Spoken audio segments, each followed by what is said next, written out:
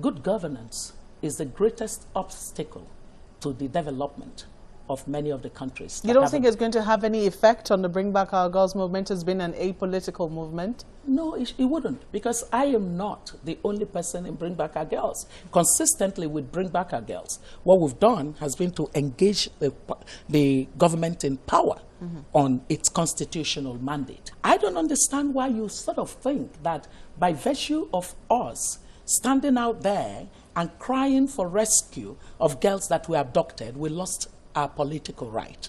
Is that what you're suggesting? I mean, with, with the launch of this new movement, mm-hmm. they're asking, are you going to run for political office? Are you going to offer yourself up for any political office?